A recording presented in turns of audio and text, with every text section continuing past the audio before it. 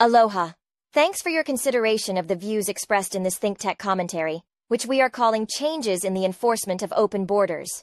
Since World War II, borders between many countries have become more open, such as between the countries of the EU. You can go from one country to another without even being inspected. In recent years, migrants have come to those countries from the Middle East and North Africa, as well as Central Asia.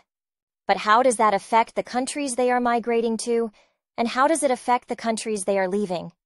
At first, it seemed that the borders of Europe were open to migration, but now it is not so clear. The flow of migrants seeking sanctuary has led to right-wing political backlash in a number of countries. Likewise, the flow of Latin American migrants seeking sanctuary across the southern border of the United States has led to right-wing political backlash here too. We can control entry by common carrier, that is, by planes, trains, and buses, but it is more difficult to control entry through the backwoods. Although you would think that with modern technology, any country can identify people who enter and stay in the country, legally or illegally, the fact is that many countries, including the US, have no handle on that, and have not reformed their immigration systems to deal with the changing times.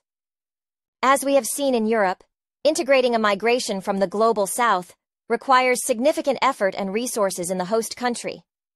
Some migrants do not easily assimilate, and some members of the host countries are unsympathetic to their entry. This can create social, cultural, racial, political, and public safety issues in the host country. While there are humanitarian and moral benefits for the migrants and the host countries, these migrations need to be thoughtfully managed. Where open borders were once an expression of international enlightenment, with the increase of global migration, things have become more complex and have raised a multitude of challenges. The protection of the culture and civil society of the host country, the assimilation of migrant communities into the host country, dealing with the costs and impacts of that assimilation, and maintaining humanitarian care in the host country for the members of the migrant community. Where is this all going? What are the impacts on the host countries, the migrant communities, and for that matter, the countries the migrants have left? From a social and cultural point of view, the world is being reordered, sometimes dramatically.